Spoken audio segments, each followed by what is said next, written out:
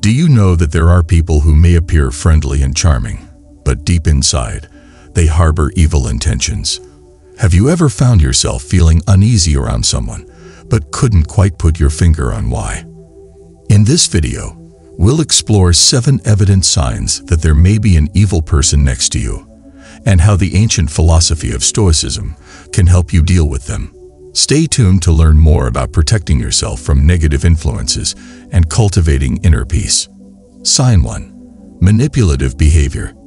Being manipulative is the first and one of the best ways to tell if someone is bad.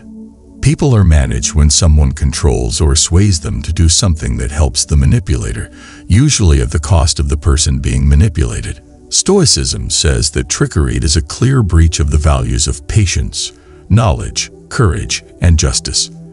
The Stoics taught us to spot trickery and stand up to it. It was Epictetus who said, Men are disturbed not by things, but by the views which they take of them. Someone who is bad wants to change the way you see things so that you do things that aren't good for you. This kind of influence can look like many things, like making someone feel guilty, gaslighting them, or pretending to love them. Self-awareness and critical thinking are important ways to protect yourself from being manipulated. Another great Stoic teacher, Seneca, stressed how important it was to be logical and control oneself. If you know what makes you feel and want things, you can tell when someone is trying to trick you. To solve the problem, you need to keep your cool, step back, and think about it logically. People who are manipulators will often take advantage of your flaws, fears, and wants. They might be nice to you to get your trust, or they might play on your fears to keep you in line. It's important to be aware of these strategies. If you notice someone being manipulative, you should be honest and strong with them. Make your limits clear and don't give in to emotional fights or dishonest ones. When you accept the truth of the situation, you can act with calm and strength. Focus on what you can control, your thoughts, actions, and emotions. Don't get caught in the manipulator's web. Remember what Marcus Aurelius said in Meditations. If it is not right, do not do it. If it is not true, do not say it. Sticking to this simple but important rule will help you keep your character and keep you safe from people who are trying to trick you. Sign 2. Lack of empathy. Another sign that someone might be bad is if they don't care about other people. As a Stoic, one of the most important virtues is empathy, which means being able to understand and share other people's feelings. The Stoics thought that everyone was linked, and that kindness and care were very important. Empathy means that a person can't understand or care about how other people feel and what they're going through. This lack of care often leads to cruel and hurtful actions. As Stoics, we are told to practice sympathia, which means recognizing that we are all human and that we naturally care about each other. Not having care for others is a clear sign that someone could be bad. People like this may take advantage of others without feeling bad about it because they see them as tools to help them reach their own goals. They might ignore or make fun of other people's pain and not care about how their actions affect others. To spot and help someone who doesn't have empathy, you need to watch how they connect with others. Do they listen and react with real care, or do they seem uninterested and focused on themselves? Someone who doesn't have empathy will stay distant and not care, while someone who does have empathy will be kind and understanding. When working with these kinds of people, the Stoic practice of ataraxia, or mental peace, is very helpful. You can handle these situations with grace and calmness if you keep your inner peace and don't let their coldness affect you. Remember that their lack of understanding is not a sign of weakness on your part. What happens to you doesn't matter. How you react to it does. Is something Epictetus says. You can keep yourself safe from the bad effects of people who don't understand how you feel by focusing on how you react and staying true to the Stoic ideals. Develop understanding in yourself to balance out their lack of interest. Do your best to listen actively, show empathy, and be kind to others. By showing these traits, you not only protect yourself from harm, but you also become a good model for others to follow. Sign 3. Consistent lying. The third thing that shows someone is bad is that they often lie. Lies hurt faith, make things unclear, and lead to arguments. Truth was very important to the Stoics, who thought that living in harmony with nature meant being honest and trustworthy. A trait of a dishonest and bad person is that they lie all the time. It's a way to control, trick, and take advantage of other people.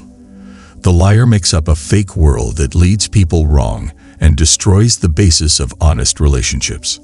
Epictetus, a Stoic philosopher, said, First, tell yourself what you want to be, and then do what you have to do. This concept stresses how important it is for our behaviors to be in line with our beliefs and true selves. Someone who lies all the time goes against this Stoic ideal because they betray not only others but also themselves. Pay close attention to how someone acts over and over again to spot someone who lies all the time. Do their stories seem to be missing pieces or too good to be true? Do they avoid making eye contact or make nervous movements when they talk? Believe your gut and check what they say with other reliable sources. It's important to stay true to yourself when you're working with a lie. Allowing yourself to choose your answer, or prohairesis in Stoic terms, is very important here. Instead of getting angry or frustrated, talk about the lies quietly and try to get the truth. You can hold the person responsible without putting your own honor at risk. He said, If someone is able to show me that what I think or do is not right, I will happily change, for I seek the truth, by which no one was ever truly harmed. Being open to the truth is a strong defense against lying. By putting honesty and truth first, you can find your way through the web of lies and avoid getting caught. Make being honest a habit in your own life. Tell the truth, even if it makes you feel bad or uncomfortable. Being true to this Stoic ideal makes you a better person and helps you build relationships based on trust and respect. Sign 4. Enjoying others' misfortune. The fourth sign of a bad person is that they enjoy other people's pain. This kind of behavior, called schadenfreude, shows that someone is deeply mean and doesn't care about others. The Stoics thought that everyone was part of a bigger human group and stressed how important it was to be kind and compassionate to others. Someone who finds joy in other people's pain is deeply morally flawed. This desire to enjoy other people's pain is a clear sign of a bad nature because it goes against the Stoic ideals of compassion, fairness, and kindness. To spot this sign, watch how a person acts when other people are having a hard time or failing. Do they show sympathy and support, or do they laugh, talk about it, or even celebrate?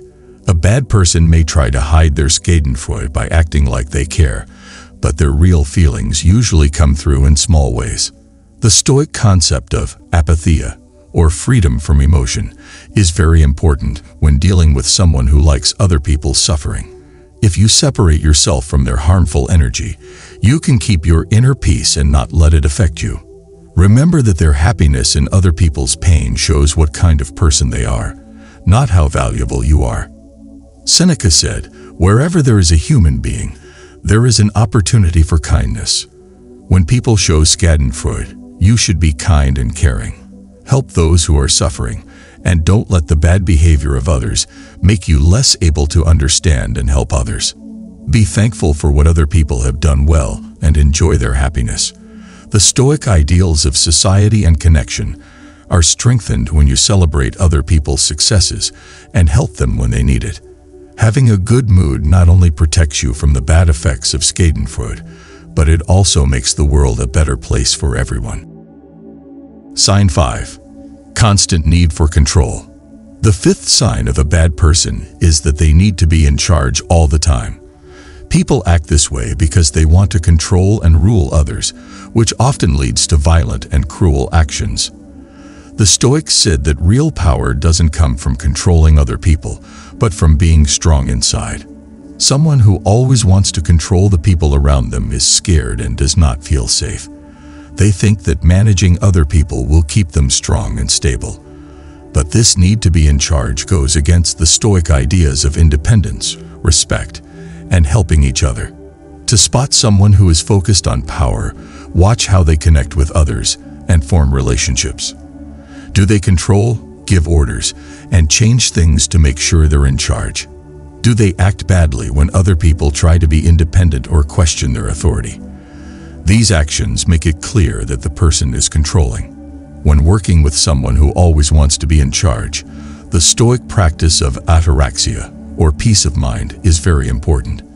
You can handle these exchanges with power and calmness if you keep your cool and don't let their attempts to control you bother you. Do not let their cunning behavior change your mind. Instead, set clear limits and stand up for your own rights. A wise man named Epictetus said, No one is free who is not master of himself. This theory shows how important it is to be able to control yourself and have inner power. You can keep your personal freedom and fight against other people's power by focusing on your own growth and strength. Respect and independence should be part of your personal interactions. Support other people's growth and encourage them to be independent. By creating a space where people respect and help each other, you can counter the bad effects of people who want to be in charge and make the world more fair and just. Sign 6. Exploitative Nature The sixth sign of a bad person is that they are greedy. Exploitation is when you use someone else for your own benefit, usually by lying, forcing, or manipulating them. Being like this goes against the Stoic ideals of fairness, honesty, and respect for others. Someone who is selfish sees other people as tools that they can use to get what they want. They don't care about the rights or well-being of the people they take advantage of, and they often leave a path of harm and suffering in their wake. This kind of selfish behavior shows that the person is evil because they put their own needs ahead of those of others. Pay attention to what someone does and why they do it to spot someone who is manipulative. Do they want to get ahead at the cost of others, not caring about what's right? Do they use trickery or force to control people and events in order to get what they want?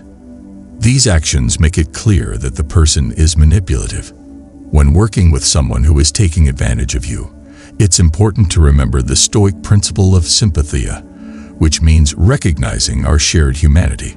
You can fight back against the degrading tactics of abuse by recognizing that everyone has worth and respect on their own. Set clear limits and don't take part in or back actions that take advantage of others. Marcus Aurelius said, the best way to get back at someone who hurt you is to be unlike them. This idea tells us to be honest and good when dealing with abuse. By showing fairness and respect, which are Stoic values, you can fight the bad effects of people who take advantage of others and keep yourself safe from their harmful actions. Do the right thing and be kind to others in your own life. Respect and be fair to other people and try to make their lives better in any way you can. By creating an atmosphere of mutual respect and support, you can fight the bad effects of abuse and help make the world more fair and just. Sign 7. Absence of guilt or remorse. The seventh and final sign of an evil person is the absence of guilt or remorse. Guilt and remorse are natural responses to wrongdoing, reflecting an awareness of the impact of our actions on others and a desire to make amends. The absence of these feelings indicates a profound moral deficiency and a lack of conscience. A person who lacks guilt or remorse is often incapable of recognizing or acknowledging their harmful behavior. They may justify their actions, blame others, or simply feel indifferent to the suffering they cause.